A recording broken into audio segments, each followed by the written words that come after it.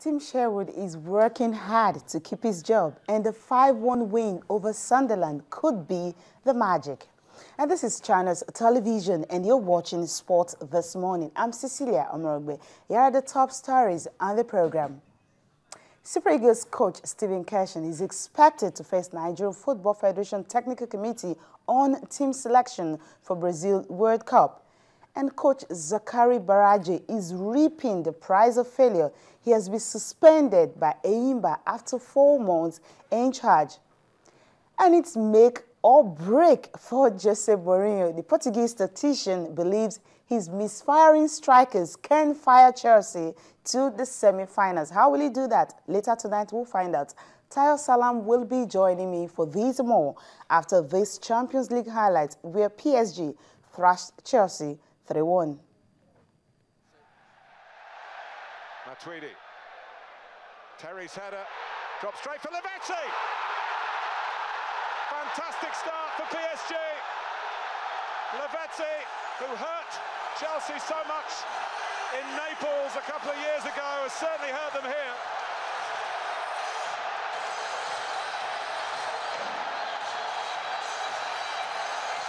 Well, this crowd's gone absolutely wild. It's the start they wanted. They've been on the front foot from the first seconds, PSG. I can't get enough on it, but that is such a difficult technique. The way in which he controls this on his chest, and it's behind him. He's having to fetch it, and he actually brings it back with his left foot. Absolutely no chance check. Penalty. Penalties given. Against Thiago Silva. Pasca's in no position. The follow through. Stonewall penalty. A big chance now for Eden Hazard.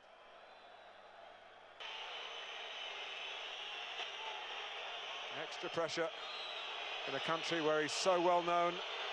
Eden Hazard does the job for Chelsea. 1-1. Now Maxwell. David Luiz coming across. Not Doing enough catch the eye of the referee. Well, that's some of his centre-back play. It's just so obvious. He's done well to track the runner. All he needs to do is just stand back. Matuidi got his body in there. Any contact is going to be a foul. Sources to take advantage of it, even against a, a well-marshalled defence as Chelsea's is. Torres better be careful at the near post. Lavezzi. Oh, it's ended up in the net. David Luiz one of several defenders who was uh, struggling. Paris Saint-Germain have the lead again. And that free kick, cheaply given away, has been costly for Jose Mourinho. Just a question of who got the final touch. Uh, it was a mess. One thing we do know is the delivery from Lavezzi was fantastic. David Luiz had that guilty look on his face. Whether that was from giving away the free kick, it is David Luiz to compound his misery of the rash challenge. Jale settles for the throw. Calls for a bit more support. Gets it, but uses up a bit of time. This perhaps was not the uh, the best thing from Paris Saint-Germain's point of view, given that they're on the attack and they're in at Chelsea here. Oh, fantastic! Absolutely fantastic, Pastore there's your big money man. Oh, That's why they paid that much. He's been overshadowed by some of the others who've come in more recently. But it's a moment that might just propel PSG into the Champions League semi-finals come the final analysis in London next week.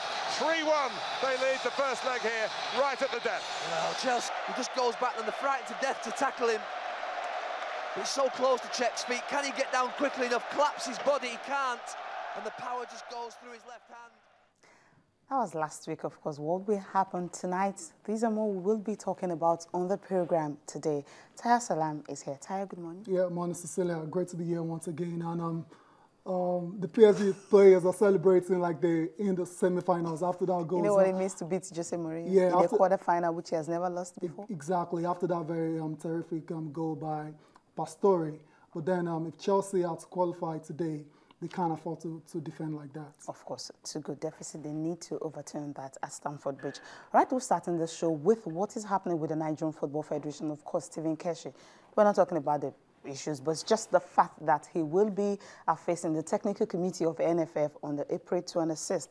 And of course, he's the major thing, of course, it is for him to defend his team selection. He's expected to submit 35-man provisional list for the World Cup in Brazil. But Keshi, they actually wanted him to submit 40. Keshi said he wants to submit 35. But he was supposed to face them on the day he was in Lagos for a, a, kind of a meeting and he didn't make the flight and of course it was postponed and right now the date is set April 26th he's expected to defend his team selection and of course the players he will be inviting for uh, the competition in June. Yeah, yeah, no, no surprises. Um, that's been on the cards uh, for a while now, and um, I'm just hoping uh, there's not no not too much drama comes out of this, and because um, like I always say, the, the box stops at um, Stephen Keshi's table.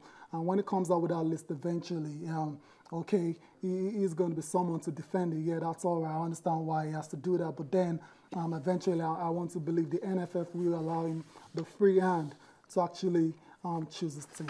Of course, that's what they've done. That's why they said whatever team he's going to choose, yeah. whatever players he's inviting, he will need to defend the reason he's inviting yes. players. And if there are some players they want to, they want to actually they want to see yeah. on the list they are yes. not there. He will have to give reasons why some of those players exactly. are not there. So yeah. that's what it's going to be. I don't think I it's hope, going to be a major, a major, major I issue. hope it's as easy as as simple as that. I hope it doesn't get complicated at all. Um, like you said now, um, Keshi, I believe he knows the, uh, the profile of the players. Of course, the players he wants he in wants. the team. And if the NFF and the technical committee feel um, some players deserve to be there as well, to Keshi, we'll have to come with a counter argument saying why they shouldn't be there. Like, I, I hope it's not that complicated. Yeah, I hope it's very easy and, and we can move on. And he has not really been, I mean, he has not been faltered in his team selection. Just check whatever team he selects. Mm. Usually he achieves something with them. I think that is what is important. Yeah. If he feels he can pick all the home-based players to the World Cup, and of course we get to the semi-finals, well, good for Stephen Keshi. So far, yeah, so far so good is working for him. The, the, thing about football is whatever you do, whatever decision you make, as long as you're winning, then you're the boss. Nobody cares really. So it's gone to the Nations Cup with on base, some on base players. It's won. It's gone to the um, Chan um, Championship as well. So he, he, managed to come third in that one. So he's doing well so far. But then by the time the results start to go the other way, by the time he goes pear-shaped, that's where the problem is. But right now, Stephen Keshi is in a position of power really because um, everything since since he's been in charge of the of the Super Eagles, he's been nothing. Um, he's been really, really good. Yeah, very, very, really, really good. And of course, when you have a team, not just your best. Sometimes you have your best players very good players, but yeah. they don't get to make a team. I think what Stephen Keshin is really trying to do with the Super Eagles is to have a team, a squad that can always win, not just having you yeah. know top players. You have the top strikers in Europe, but when they come together, they cannot play as a team. When you're having your best players and they're not playing as a team, it's a problem. But if they're playing as a team, sometimes yeah. you know you get the very, very best of results. I agree with you absolutely. That was a beautiful goal by Shola Ameobi there, lovely volley and I'm sure a lot of people don't have too much time for Shola. But then if Keshi feels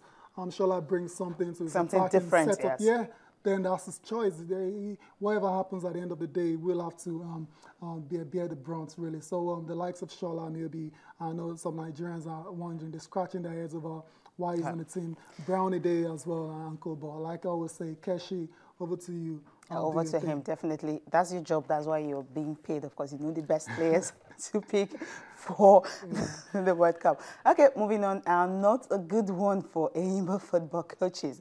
Of course, what is the problem? Two of the coaches, the manager and, of course, the assistant, both of them have been suspended simply because of, I mean, for seven matches they played, three losses, three draws and just one victory. Of course, we knew Crystal the CAF Champions League. Mm. I think that was where the whole thing started from. And of course, this particular season, you, you see them actually 14th position with four points from four matches. And that is supposed to be two-time African champions. Yeah, are you surprised about this? I, I said this, the writer was on the wall after that game against But Abia. just four months yeah, in no, charge. Yeah, but that's the way. Was it losing to Abia Warriors was really yeah, the I, bad I'm, I'm coming. Yeah, after that loss against Abia Warriors, when you lose to your local rivals, yes. it is very hard to take. Now, couple that with the fact that they're out of the Champions League and they go to FC Taraba and lose again, and like you said, they are four points from four games. It's not good enough for, for, for um, a team of Enyimba's um, quality. But you're, you're saying something about he's just been in charge for four months. Hello, it's the coaching game. It's the most volatile. It's anything can happen. We've seen coaches get sacked after two or three games. And, you know, um, Tim Sherwood will be out of job at the end of the season. His team won 5-1 last night. So that's the way the game is. That's the way the, um, the sport um, coaching, that's the way it is really. And you're as good as your last yes, result. definitely. He's a very experienced um, coach. And um, it's a shame he hasn't worked out well for him at AIM. But remember, um, the goalkeeping coach was suspended as well. He's on suspension. What's his name again? Um, Shuaibu Suleiman. Yeah, he's on suspension. Yeah after they lost out to Real Bamako in the Champions League. So that's the that's the way the game goes. Really. And they play Warri Wolves tomorrow, and of course, this yes. uh, uh, one of the coaches had to step in, so he will be the one that will take charge of the game against Warri Wolves tomorrow. So they yeah. actually travel without. Good luck. Him. Good luck to, to the new coach now. good luck to him, definitely. Suspension indefinitely. Yeah. I think that's as good as a sack. Okay, we'll go for a short break now. We'll come back. Of course, the Champions League is tonight. Well, the stage is actually set for those that will make it to the semi-finals, two matches tonight, and also the story on Oscar Pistorius. Details after this break.